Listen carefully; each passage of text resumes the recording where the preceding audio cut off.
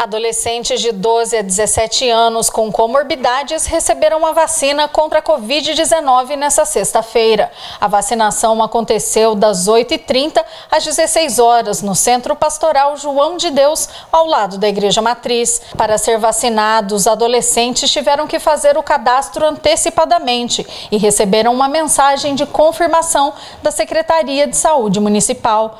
Quem recebeu a mensagem compareceu com os documentos e saiu saiu vacinado? Eu sinto muito feliz e ansiosa para tomar vacina. Foi bom? Doeu? Como é que foi? Não doeu não. Não doeu não? Ah, é emocionante, porque a gente perdeu tantas pessoas, né? Por causa do Covid, perdi parente. Então, é um sentimento de gratidão, né? Sim. Mesmo que tenha demorado um pouco, né? Por conta não comprar a vacina, uhum. mas é era para ter sido antes, mas ainda bem que agora, né? E mesmo com chuva, fez questão de vir aqui ser vacinada. Uhum. Muito bom, Sim. então, dia para comemorar?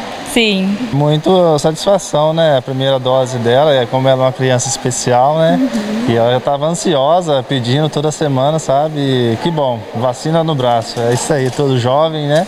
Uhum. É, tem que tomar mesmo. Chegou a vez a família ficar mais tranquila? Sim, com certeza, né? Com certeza. E principalmente ela, que estava bastante ansiosa, agora vai ficar mais tranquila.